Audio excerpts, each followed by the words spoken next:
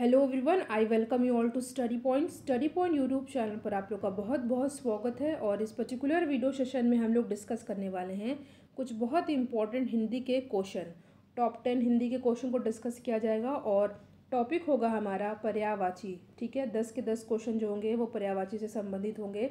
इससे पहले चैनल पर एक वीडियो अपलोड हुआ है पर्यावाची से रिलेटेड जिसमें कुछ ऐसे शब्दों को डिस्कस किया गया है जो कि बार बार एग्ज़ाम में पूछे गए हैं। अगर आपने उस वीडियो को नहीं देखा तो उसको भी देख लीजिएगा, क्योंकि वो आपके एग्ज़ाम के लिए इंपॉर्टेंट है। तो चलिए, आज का डिस्कशन स्टार्ट करते हैं। पहला क्वेश्चन है, कौन सा शब्द कमल का पर्यावाची नहीं है? ध्यान दीजिएगा, इसमें पूछा है, नहीं है तो मनसिज ये कमल का पर्यावाची नहीं होता है। बाकी जलज अम्बुज पंकज, ये कमल के पर्यावाची होते हैं। देखिए अभी मैं जो टेन क्वेश्चन डिस्कस कर रही हूँ आपसे क्वेश्चन नंबर सिक्स जो आपसे मैं डिस्कस करूँगी, उसका आंसर आपको कमेंट बॉक्स में देना है। वो क्वेश्चन कई बार एग्ज़ाम में पूछा गया है। तो इसके अलावा हम लोग कमल के और पर्यावाची शब्द को देख लेते हैं पहले। जैसा कि आप देख रहे हैं, ये शब्द एग्ज़ाम में कई बार पूछा गया है। तो कमल के और पर्यावाची शब्द होते हैं जलज, नीरज, कोकनद, ताम्रस, सरोज, अरविंद शतपत्र सरसिज, नलिन, उत्पल, अब्ज अम्बुज पंकज कंज और परिजात। तो ये हैं कुछ और कमल के पर्यावाची। याद कर लेना है आपको बट कमल का पर्यावाची इसमें नहीं है। मनसिस that is why option A हो जाएगा हमारा करेक्ट आंसर नेक्स्ट क्वेश्चन पर आते हैं। क्वेश्चन है, निम्न में से कौन सा शब्द प्रस्तर का पर्यावाची नहीं है? ठीक है, नहीं है, ये पूछा है। तो पाषाण, ये पत्थर का पर्यावाची होता है। पाहन भी होता है, उत्पल भी होता है। बट उपल उपल जो है पर्यावाची नहीं होता है प्रस्तर का। तो ऑप्शन डी हो जाएगा हमारा करेक्ट आंसर साथ ही साथ आपको याद कर लेने हैं पर्यावा प्रस्तर के पर्यावाची क्या क्या है? पाषाण, उत्पल और पाहन। नेक्स्ट क्वेश्चन पर आते हैं। निम्न में से कौन सा शब्द भ्रमर का पर्यावाची नहीं है? तो भ्रमर का पर्यावाची नहीं है, ये हम लोग देख लेते हैं। शफरी, ठीक है?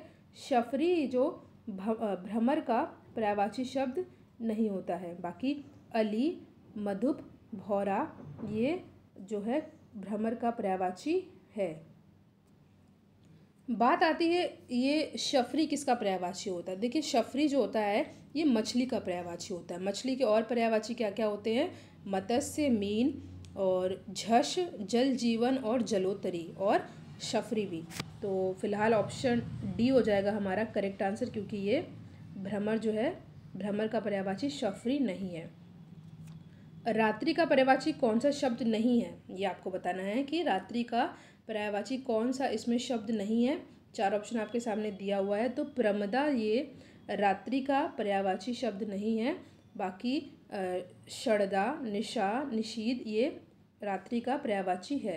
ऑप्शन ए हो जाएगा हमारा सही आंसर नेक्स्ट क्वेश्चन है, आँख का पर्यावाची कौन सा शब्द है? तो आँख का पर्यावाची शब्द होगा द्विग, ठीक है?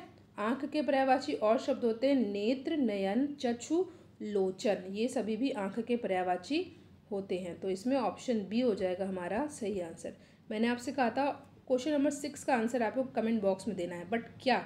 ये पहले मैं आपको बता दूँ। इनसे पूछा है कि पृथ्वी का पर्यावाची शब्द कौन सा है? तो देखिए, पृथ्वी का पर्यावाची शब्द तो है इसमें वसुंधरा। कमेंट बॉक्स में आपको बताना है कि पृथ्वी के अन्य पर्यावाची शब्द कौन होते हैं? मिनिमम तीन पर्यावाची आपको बताने हैं पृथ्वी के। एक तो हो गया वसुंधरा, इसके अलावा तीन आपको और बताने हैं। वीडियो को आप लोग लाइक और शेयर ज़रूर करिएगा। नेक्स्ट क्वेश्चन है, जानवी का पर्याय है, किसका पर्याय है जानवी? चार ऑप्शन है तो इस क्वेश्चन का सही आंसर हो जाएगा मंदाकिनी। ठीक है, जानवी का पर्याय है मंदाकिनी। इसके अलावा क्या क्या होता है? इसके अलावा होता है सुरसरी, गंगा, त्रिपथगा और भागीरथी, देवनदी, देवपगा और विष्णु नदी, विष्णुपदी। तो ये होगा आपका और जानवी का पर्याय। ठीक है? डी हो जाएगा हमारा सही आंसर नेक्स्ट पर आते हैं। स्त्री का पर्यायवाची शब्द कौन सा नहीं है? ठीक है? स्त्री का पर्यायवाची कौन सा नहीं है? ललाम। ठीक है? ये स्त्री का पर्यायवाची नहीं है। बाकी तरुणी, प्रमदा, ललना, ये सभी स्त्री का पर्यायवाची है। तो सी हो जाएगा हमारा सही आंसर नेक्स्ट क्वेश्चन है। तर्कश का पर्यायवाची शब्द कौन सा है? तो तरस तर्कश का पर्यावाची शब्द हो जाएगा आपका त्रिशंग। ठीक है? त्रिशंग जो है ये आ, आपका तर्कश का पर्यावाची होता है। इसके अलावा तुरीण तुरीण देखिए ये ऐसे वाला। तु तुरीण भी जो है ये तर्कश का पर्यावाची होता है। इसके इस अलावा निपंग तो मैंने बता ही दिया। इसके अलावा जो है तूण और तूणी। तूण और इसमें जब बड़ी की मात्रा लगा देंगे तूणी।